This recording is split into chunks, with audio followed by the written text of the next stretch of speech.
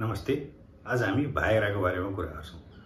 भाइग्रा पुरुषहरूको यौन स्वास्थ्यमध्ये एउटा प्रमुख समस्या इरेक्टाइल डिस्फङ्सन अर्थात् लिङ्गमा कडापन नहुने लिङ्गमा तनाव नहुने समस्यामा प्रयोग हुने एउटा प्रमुख औषधि हो। भाइग्रा औषधिमा जुन केमिकल युज हुन्छ जुन सल्ट युज हुन्छ त्यसलाई सेल्डेनाफिल भनिन्छ। सेल्डेनाफिल प्रयोग गरेर फाइजर भन्ने अमेरिकाको कम्पनीले एउटा औषधि बजारमा ल्याउँछ जसलाई चाहिँ उसले भाइग्रा नाम दिन्छ।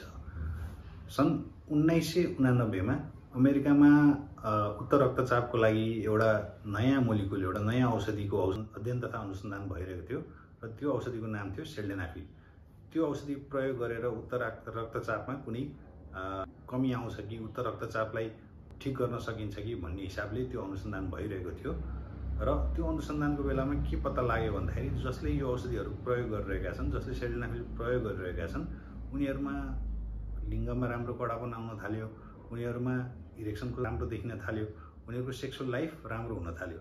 र यसबाट के पत्ता लाग्यो भन्दाखेरि सेल्डेनाफिलको प्रयोग इरेक्सनको समस्या भएको या इरेक्टाइल डिस्फङ्सन भएको पुरुषहरूमा प्रयोग गर्न सकिन्छ कि भन्ने हिसाबले अनुसन्धानहरू हुन थाल्यो। र कमसेकम दस वर्षको अनुसन्धानपछि सन् उन्नाइस सय अन्ठानब्बेमा अमेरिकाको फुड एन्ड ड्रग एडमिनिस्ट्रेसन एफडिएले भायाग्रालाई या सेल्डेनाफिललाई मार्केटमा ल्याउन फाइजर कम्पनीलाई लाइसेन्स दिन्छ। र फाइजर कम्पनीले सेल्डेनाफिललाई भायाग्राको नामले बजारमा ल्याउँछ। त्यो भायाग्रा ब्लू कलरको ट्याब्लेटमा आउँछ यो एउटा डायमन्ड सेपको हुन्थ्यो र त्यसलाई एउटा ब्लू पिल भनेर पनि मार्केटमा चिनिन्छ। यो औषधि लाइसेन्स भएपछि थुप्रै चिकित्सकहरूले इरेक्टाइल डिस्फङ्सन भएको पुरुषहरूमा यो औषधिहरूको प्रयोग गर्न थाल्छन् र धेरै राम्रो नतिजाहरू देखिन थाल्छ त्यही भएर जो पुरुषलाई इरेक्टाइल डिस्फङ्सनको समस्या छ जसलाई इरेक्सनको समस्या छ त्यस्ता पुरुषहरूमा चाहिँ यो औषधि एउटा वरदान जस्तै साबित भएको छ। र अहिले पनि इरेक्टाइल डिस्फङ्सनमा युज हुने एउटा प्रमुख औषधिमध्ये भागेरा अर्थात् सेल्डेनाफिल एउटा प्रमुख औषधि हो।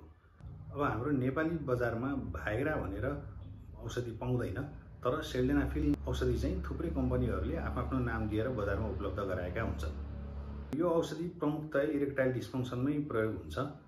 पच्चिस एमजीदेखि सय एमजीको ट्याब्लेट यो औषधिको मार्केटमा एभाइलेबल हुन्छ। र पच्चिसदेखि सय अब कति कति मात्राबाट तपाईँले यो औषधि लिने भन्ने कुरा चाहिँ तपाईँले चिकित्सकले सल्लाह दिनुहुन्छ र बिना चिकित्सकको सल्लाहमा यो औषधि प्रयोग गर्नु पनि हुँदैन। यो औषधिको प्रयोग सेक्स गर्नुभन्दा कमसेकम एक घन्टा अगाडि लिनुपर्छ। औषधि प्रयोग गरेको एक घन्टा जतिपछि सेक्सुअल एक्टिभिटीहरू सुरु गर्नुपर्ने हुन्छ भन्नाले फोरप्लेहरू या सेक्सुअल एराउजलहरू हुन थालेपछि बल्ल यसले लिङ्गमा कडापन दिन्छ र यो कडापन चाहिँ कमसेकम चार पाँच घन्टाको लागि गर्छ।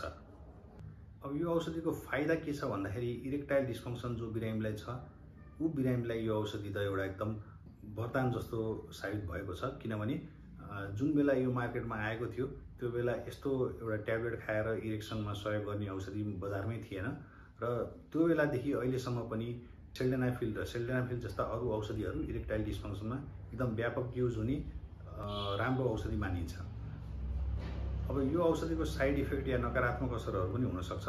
जस्तै धेरै मानिसहरूलाई यो औषधि खाएपछि टाउको दुख्ने या जिवा दुख्ने ढाड दुख्ने अलिकता दृष्टिको समस्याहरू नाकहरू अलिक बन्द भएको जस्तो हुने यो समस्याहरू चाहिँ हुनसक्छ।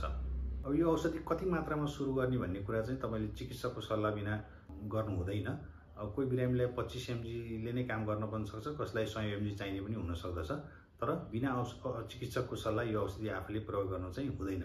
किनभने यो औषधिको धेरै सिरियस साइड इफेक्टहरू पनि कसै कसैमा हुनसक्छ।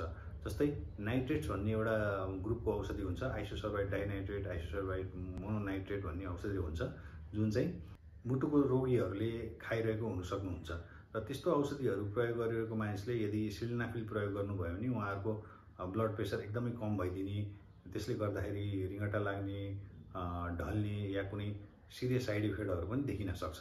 त्यही भएर बिना चिकित्सकको सल्लाह यो औषधि प्रयोग चाहिँ गर्नु हुँदैन। यो औषधि धेरै एब्युज भएको पनि पाइन्छ। स्पेसली युवा अवस्थाका साथीहरूले सेक्स गर्नुभन्दा अगाडि यो औषधि प्रयोग गर्ने र यो औषधि प्रयोग गरेपछि लिङ्गमा कडापन आउँछ र यसले गर्दाखेरि राम्रो हुन्छ भनेर इरेक्टाइलको डिस डिस्फङ्सनको समस्या नभए पनि यो औषधि पहिले नै प्रयोग गर्ने गरिएको देखिएको छ। र यसो गर्नु राम्रो चाहिँ हुँदैन किनभने नेचुरली नै मान्छेलाई इरेक्सन आइरहेको हुन्छ र यदि तपाईँलाई इरेक्टाइल डिस्फङ्सन छैन भने यो औषधि प्रयोग गरेर यदि तपाईँ इरेक्सन ल्याउनुहुन्छ भने सधैँ यसको बानी परे जस्तो हुनसक्छ। यो औषध नखायो भने मेरो इरेक्सन हुँदैन कि या मलाई कडापन आउँदैन कि मैले सेक्स गर्न सक्दिनँ कि भनेर एउटा त्यो मानसिकता विकास हुनसक्छ र त्यसले गर्दाखेरि डेली या हरेकचोटि सम्पर्क गर्नुभन्दा अगाडि यो औषधि प्रयोग गर्नुपर्ने हुनसक्छ। त्यही भएर इरेक्टाइल डिस्फङ्सन हुँदै नभए पनि यो औषधि गएर प्रयोग गर्नु चाहिँ राम्रो मानिँदैन। अब यो औषधि सबै पुरुषहरूलाई काम गर्छ भन्ने पनि छैन। कमसेकम तिसदेखि चालिस प्रतिशत पुरुषहरूलाई यो औषधिले काम नगर्न पनि सक्छ र त्यसपछि थुप्रै अरू औषधिहरू या अरू विकल्पहरू अप्नाउनु पर्ने हुनसक्छ। कतिजनाले भन्छन् यो औषधि खाएर हार्ट एट्याक हुने या ज्यान जाने समस्या हुनसक्छ। त्यस्तो चाहिँ होइन। कुनै पनि अनुसन्धानले यो औषधि मात्रै प्रयोग गरेर यो औषधिकै कारणले हार्ट एट्याक भएको यो मान्छेको मृत्यु भएको भनेर देखाएको चाहिँ छैन।